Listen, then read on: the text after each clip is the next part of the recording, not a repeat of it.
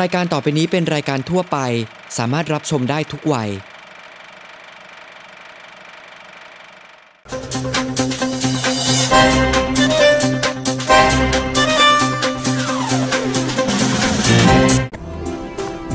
สวัสดีครับพ่อแม่พี่น้องชาวรวยโกลกที่เคารพรักทุกท่านนะครับ ผมริชานนท์น้อยนายพรวยโกลก วันนี้ก็จะมาพูดคุยบอกเล่าเรื่อง ของการแก้ไขปัญหาจังหวัดชายแดนภาคใต้นะครับ ซึ่งทางกรมนภาค 4 ได้กำหนดไว้หลายยุทธศาสตร์นะครับหนึ่งในนั้นคือโครงการพาคุณกลับบ้าน โครงการนี้นะครับเป็นเจตนารมณ์ของพรมนภาค 4 ที่ต้องการให้บุคคลที่มีความเห็นต่าง ที่ต้องการให้บุคคลที่หลบหนีได้กลับเข้ามาหันหน้าเข้ามา พูดคุยกับทางรัฐ มาสอบถามมาสร้างความเข้าใจกันนะครับ เป้าหมายคือต้องการให้ทุกคนนะครับได้มีเวที ได้มีโอกาสในการแสดงออกสำหรับของอำเภอสวยโกลกนะครับ มีบุคคลเป้าหมายที่เราต้องไปพูดคุย ต้องไปเจราจาต้องนำเขากลับมา ก็จะมา59 รายนะครับ ส่วนมากจะเป็นผู้ที่ถูกหมายพรกจะ39 รายนะครับ ที่เหลืออีก 20 รายจะเป็นหมายปวิอาญานะครับ ซึ่งผมก็ได้แบ่งกลุ่มภารกิจให้กับกำลังพลในทุกบริการอำเภอนะครับ ให้ทำหน้าที่ในการไปเยี่ยม ไปพบปะไปพูดคุย ไปสร้างความเข้าใจกับญาติพี่น้องของบุคคลที่มีหมาย ของบุคคลที่หลบหนีไปนะครับ ปรากฏว่าณเวลานี้นะครับก็ได้กลับเข้ามาแสดงตน แสดงเจตจำนง ที่จะออกมาพูดคุยนะครับจำนวน 19 ราย ก็ยังเหลืออยู่อีก 40 รายนะครับ ก็กำลังมอบให้คณะทำงาน ได้ไปพบปะไปพูดคุย ไปทำความเข้าใจกับเครือญาติกับคุณพ่อคุณแม่กับภรรยาอยู่นะครับ ซึ่งก็ใช้เวลาอีกสักพักหนึ่งนะครับก็ผมคิดว่าคนที่มีหมายก็ตาม คนที่หลบหนีอยู่ก็ตาม ถ้าญาติพี่น้องท่านนั่งฟังผมอยู่นะครับ ท่านมาพบได้ทุกเวลาครับ มาบอกได้ทุกเวลา และบอกผู้ที่หลบหนีอยู่ด้วยว่า เราไม่ มีเจตนาจะทำอะไรทั้งสิ้นนะครับ ต้องการให้ท่านมาคุยกัน มาพูดกันนะครับ ท่านมีคดีท่านก็เข้ามาต่อสู้คดีกันนะครับ เรามาพูดความจริงกันนะครับ ผมเชื่อมั่นเหลือเกินว่า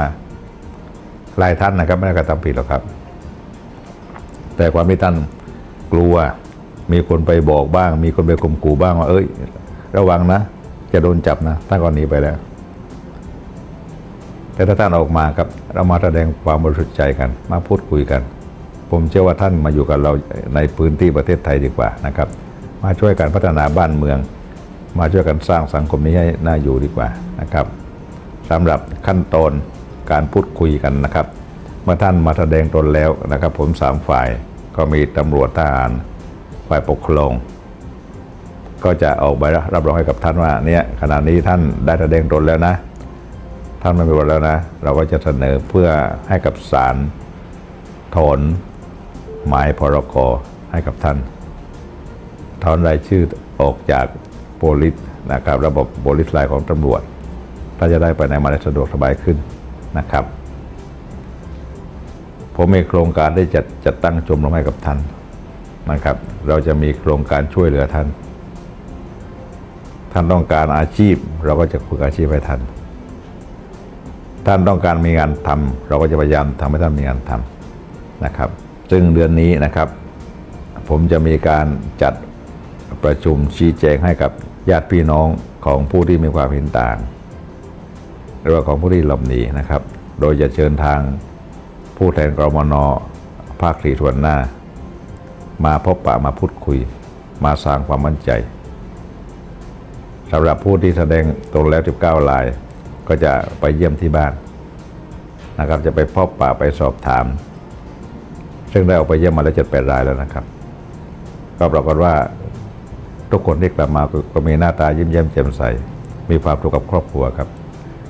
อยู่อาศัยกันพร้อมหน้า พ่อแม่ลูก อยู่พร้อมหน้าพี่น้องกัน